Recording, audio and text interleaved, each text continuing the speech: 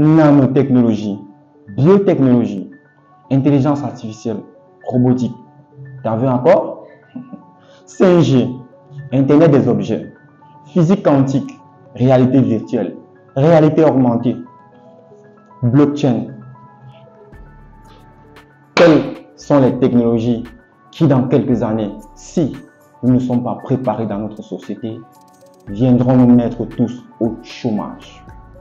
Dans cette chaîne de la jeunesse africaine et diasporique, plus précisément dans ce département technologie du futur, nous aborderons avec vous au quotidien des technologies citées plus haut.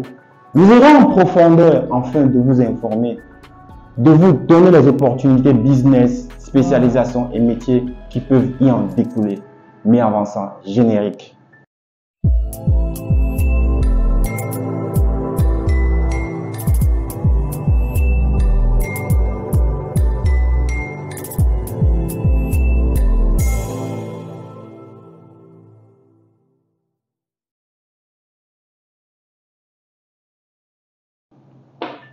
Hello les amis, je suis Max Ulrich.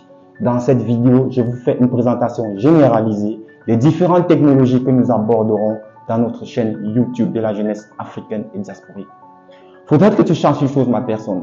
Le continent africain reste ce continent où beaucoup de choses ne sont pas encore explorées. Peu de secteurs sont connus et ça reste une opportunité de mine d'or. Pas pour les autres, mais pour nous qui sommes sur le continent africain.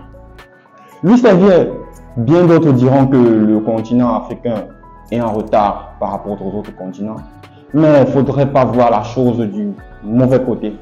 Nous nous pencherons plutôt sur le bon sens de la chose, voir l'opportunité qui se cache derrière.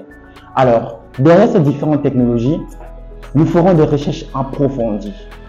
À la mesure où nous pourrons inviter des spécialistes qui existent déjà dans ces technologies, mais qui sont basés du côté de l'Occident. Ça peut être la diaspora, ça peut être euh, des compatriotes américains, français, asiatiques et bien d'autres, j'en passe encore. Donc, nous irons chercher ces personnes. Nous ferons parfois des réunions Zoom ou alors nous pourrons faire des interviews en présentiel afin de discuter avec eux pour qu'ils nous en disent encore un peu plus en profondeur pour que vous soyez le mieux éclairé. Oui, les amis, le but, c'est que nous, la jeunesse, nous sommes préparés sur les différentes mutations arrive dans les années à venir, afin de ne pas rester en reste. Oui, c'est ça le but, ma personne. Raison pour laquelle nous ferons